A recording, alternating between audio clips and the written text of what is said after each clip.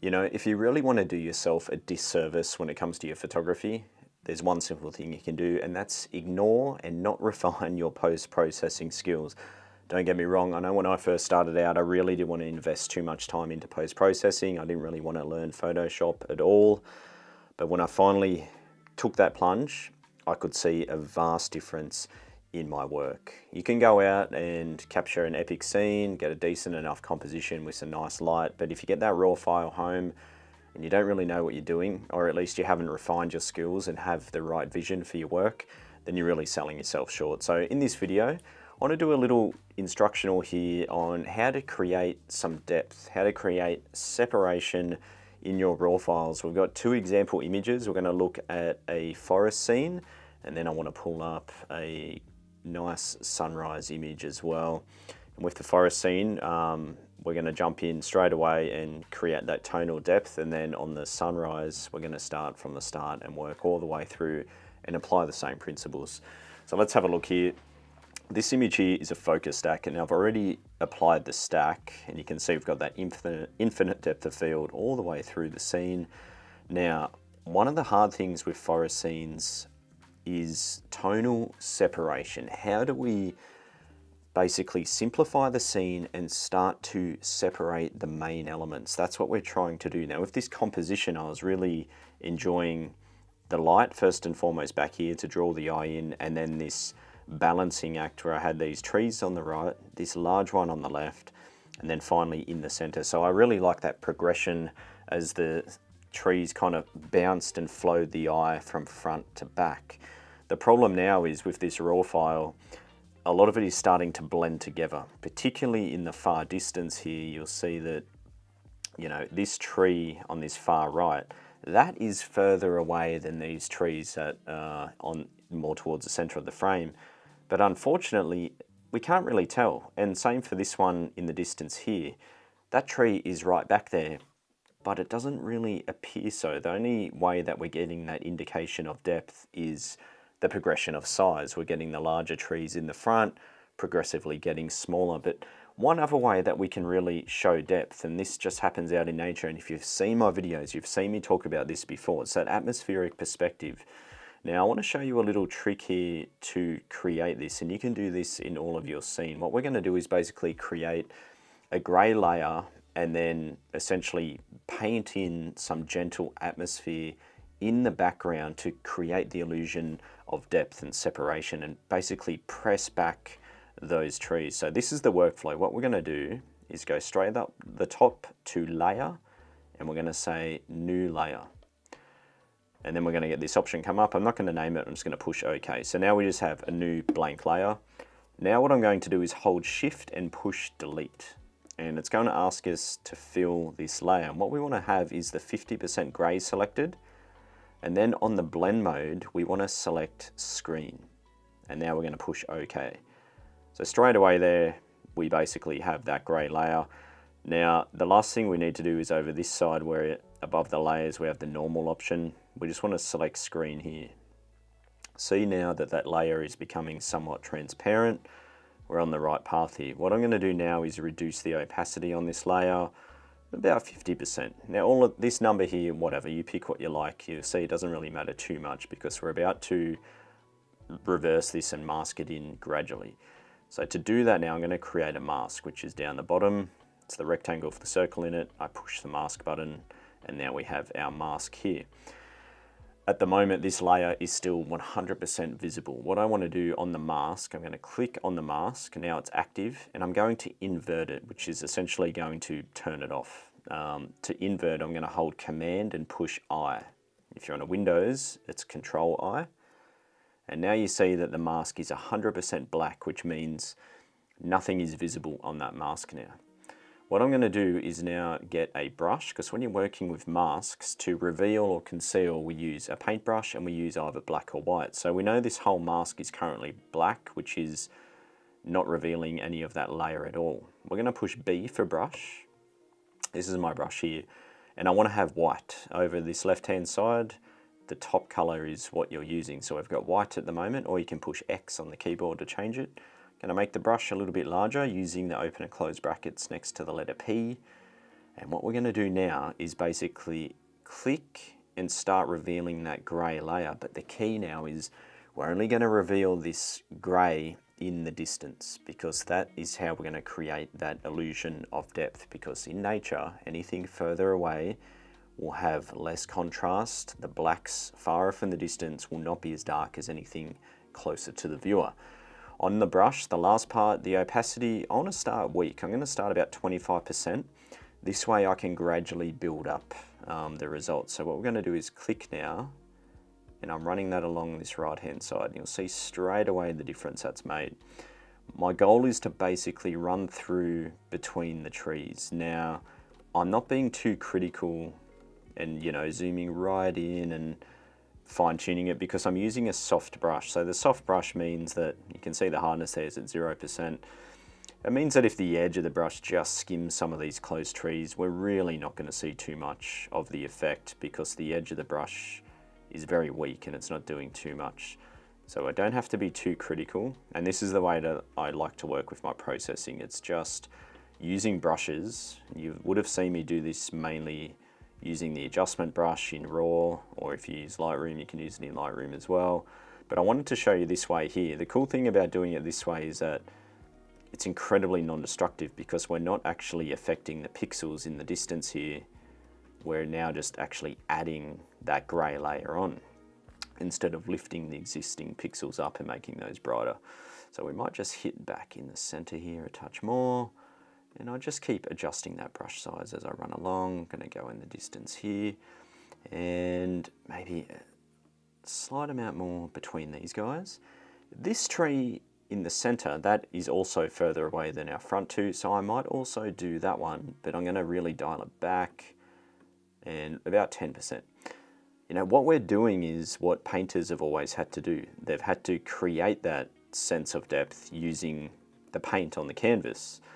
And what they will do is they'll typically work from the distance and then progressively move forward. And with the distance objects, they're always starting off far lighter and then they build up the darker tones.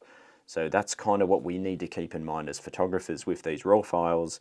Let's keep that background more faded out and muted and then progressively let the contrast build up as we move in. The tricky part with photography is we come home with a raw file and if we go too ballistic on the contrast, we're just going to completely ruin that three-dimensional sense of depth. All right, so I'm going to leave that there. Let me turn that on and off now, and you'll just see what has been done. So that's before, and that's after. So hopefully you can see how much that starts to allow these main trees separate from the background and also separate from each other. Now let's move on to a completely different scene altogether and keep this same principle in mind. This time we're starting on the raw file. This was just a beautiful sunrise uh, captured recently.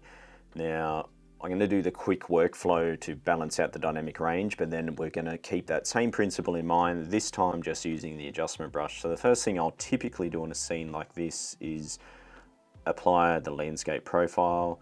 Sometimes you'll find on these images maybe that's a little bit too much because there's a lot of color in there already, but in this case I still think it's fine. I'm also just going to straighten that horizon partially, make that larger for you guys, and just move that to the right. I just use the up and down arrows lock that in about there. Now, moving straight away into the light panel, this is what I'd call balancing the dynamic range. I'm going to brighten up the whole exposure because I want every tone to come up evenly. Then I'll pull the highlights down partially. Not too much though. I'm, I don't like them up in the sky, but I want to make sure that I keep all those subtle highlights in the lower portion. If I go too crazy on the highlight recovery, we're losing all the beautiful highlights down the bottom. So we'll do that locally in a minute. Same with the shadows. I'm going to raise those up a little bit. Now this is the part that's going to get interesting because we want to make sure that remember, say the hill back here, we want to have less dark value on that compared to these trees and then these trees lighter than these trees. So we've got a few layers to progress through, not to mention the foreground as well.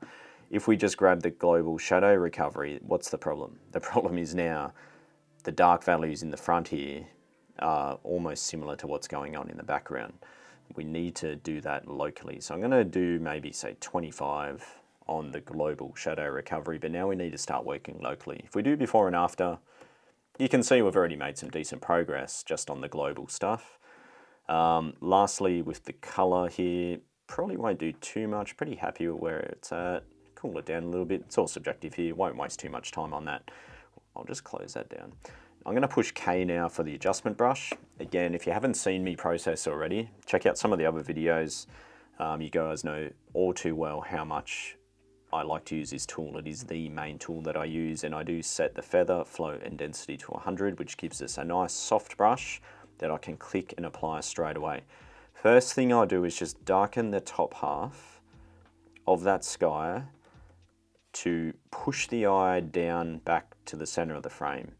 I'm going to be careful as I hit that tree. This is why I use a soft brush. So if I use the edge of the brush on any of these objects, it is quite subtle. Now I won't go as dark as I did, probably something like that.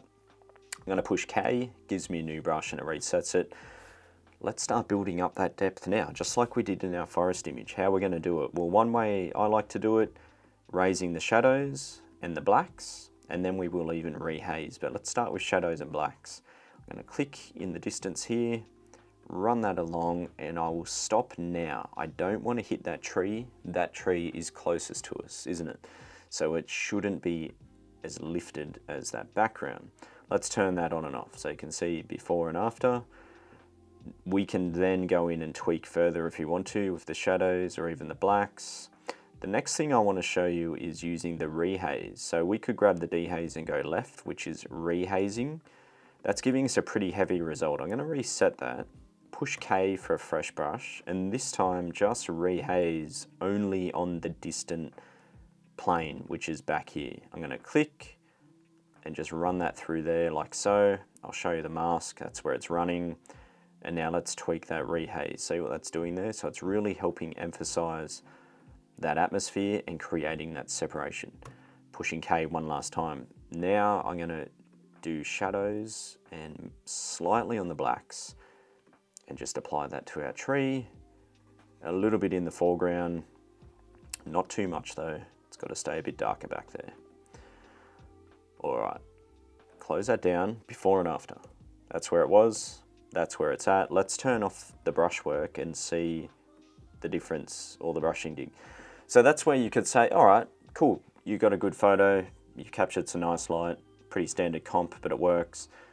Look at the difference with our local adjustments there, helping lead the eye. Now I'd probably go a few steps further. Let's do K for this brush and I might actually increase the contrast bring the exposure down just in the front here. I think we're probably a, a little bit too bright, like this. The next thing I do is give us a bit more light in the background, okay? And this is side light coming in. The light is basically, well, it's not quite side light, it's actually backlight. You can see there's no light hitting anywhere except the cloud. So it's rising behind this ridge line why don't we just give a reference for that light? One way I like to do that is bringing up exposure slightly, warming up the brush with some temperature, even a tiny amount of tint, and then the key is rehazing, and I'll just, about here, somewhere where you, the light was basically coming up, and let's just turn that up a little bit more for the exposure, so you can see what that's doing there. It's really nice to have an indication of light within the frame. I'm going to push K and this time bring up some whites on the brush. White is light. And I will now just hit really where we want the eye to go, which is all that beautiful mist in that middle area. The composition is all based around that hill, that mountain in the back with the layered atmosphere. I want to make sure I draw the eye there, and I can do that by boosting the light, the whites. I'm going to go a bit larger. Think of it as dodging. We're just gently lifting the little details. Now I'm getting carried away and I'm just going to keep running with it a little bit because I like the result we're getting with it. So even hitting the, the foreground greens, it's all lifting it up. Let's have a look before, after. Now, I'm going to go into the curves and I might just pull the mid-tone darks down slightly and keeping a very close eye on our distant trees here because I don't want to drop those back and undo all our hard work. And now why don't we just bring those mid-tone brights up slightly, something like that. The last thing I might do on an image like this is potentially look at the grading. Don't need to warm the highlights because they're already warm enough, but I'm curious about cooling the mids and the shadows just to get some color separation. So as I cool the mids down, you can see those cool tones that are really being emphasized. I quite like that. Just gives us that contrast of cool and warm. Similar with the shadows, we're just going to jump in, cool that down partially. Let's do it before and after. And then like I said, if we go back to the brushing one last time, the local adjustments, see how it's flat back there. The tree on the left is rolling in with the trees in the background. Those two mid layers there, those zones, the front and back are also blended together. Now we've got that separation. And side by side.